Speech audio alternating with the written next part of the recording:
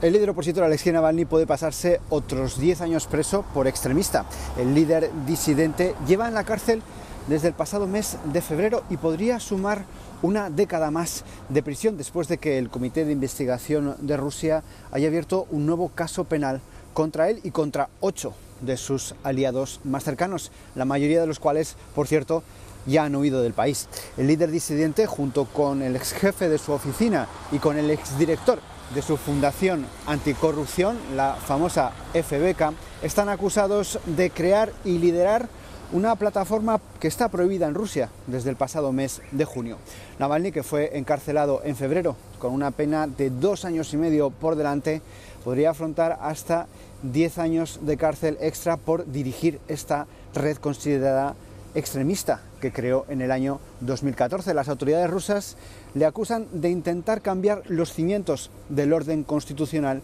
del país y de socavar también la seguridad pública y la integridad estatal de la Federación de Rusia, creando una comunidad considerada extremista y liderándola junto a sus compañeros.